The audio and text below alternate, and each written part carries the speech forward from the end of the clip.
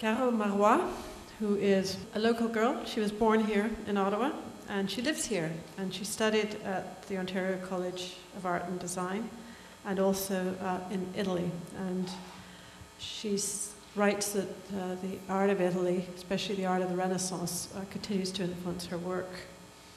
Um, she's painted, she, she's quite well known as a painter of murals, and I don't know if any of you have driven up Preston in recent years, but the, the mural under the uh, Queensway is Karole's. And I remember, because we used to, the World War Museum required me to drive under that bridge every day, and I watched it progress, but I didn't know it was by Karole at that point in time. Um, she got involved in the, the CFAP program in 2005, and um, I imagine that she will be talking a little bit about her involvement in that program and her other experiences with CFAP.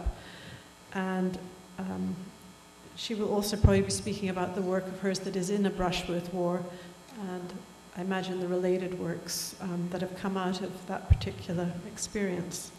2005, I was asked if I was interested to go to the Netherlands for the 60th anniversary of uh, Victory in Europe Day and the liberation of Holland. So, of course, I said yes. So, it was an amazing experience for me. Um, why I joined the Canadian, or why I, I, I applied to the Canadian Forces Artist Program is maybe like many of us artists, we're curious about military life and we're, we like adventure, we like traveling like a lot of the soldiers. And it's like, um, for the military, it's like a big family, which as, as an artist, of course, I'm more like a guest. And I am privileged to uh, participate in some of their everyday routine life, which uh, for me in the uh, Netherlands, it was more of a celebratory um, experience. And, but at the same time, this, of course, this underlying sadness all along of, of all the loss, the uh, lives lost. Um, so for three weeks, I was there three weeks uh, in uh, the Gelderland, province of Gelderland.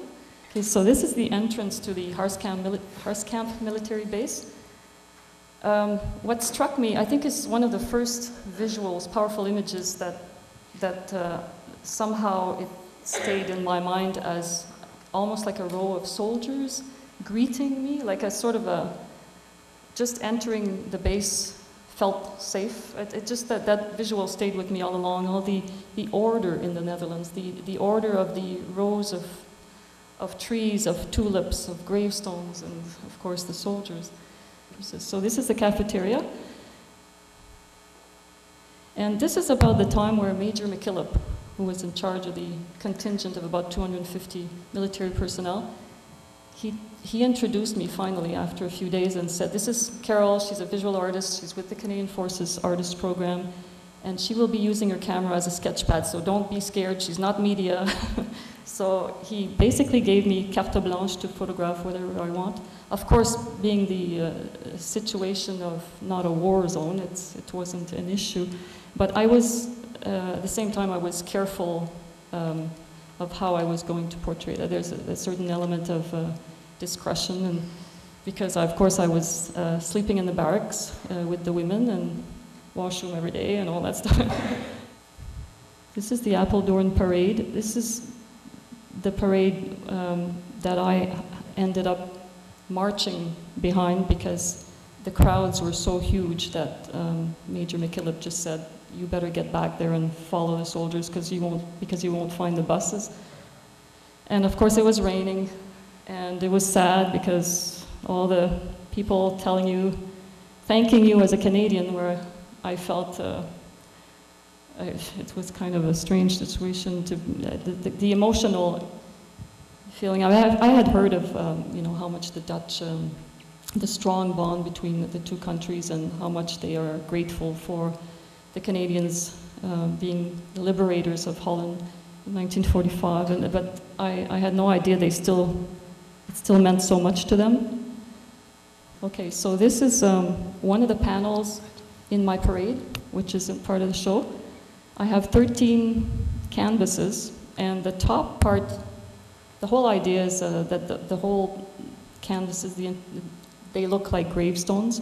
So the impact of the cemeteries in the Netherlands, that's what I wanted to portray, that underlying sadness. And And um, so the, the, I have 13 canvases showing the parade.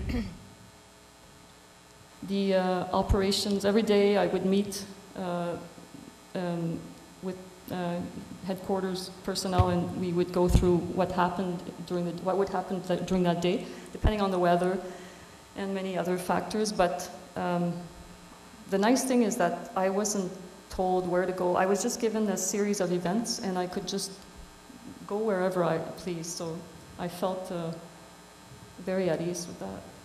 And um, this is my piece called Together Side by Side. It's actually, I completed that last year. Uh, I just felt that after the parade of 13 canvases, I had to do something even bigger. It's just to get it out of my system, I guess, and just to, it wasn't almost enough. I, I had one more thing to say, and it had to be, last year was six, 65 years after Second World War, and I just decided I would work on this series of panels that showed my entire experience in the Netherlands. Again, this time I actually, they're on panels carved or shaped like gravestones. So you see some of the scenes of the cemeteries, and uh, I have the three services Navy and um, Army and Air Force. And this part here is called, uh, well, the, the starvation winter of 1944 in the Netherlands when the Dutch only had uh, tulip bulbs to eat and a few other bad things. But uh, basically, that's when uh, the Canadians um, arrived and, uh, according to the Dutch, uh, liberated. Um, or in, in Apeldoorn especially, the, the Canadians liberated the city of Apeldoorn in, on April 17, 1945. So this is uh, my show that's happening this, this spring. Uh, the opening will be on that day.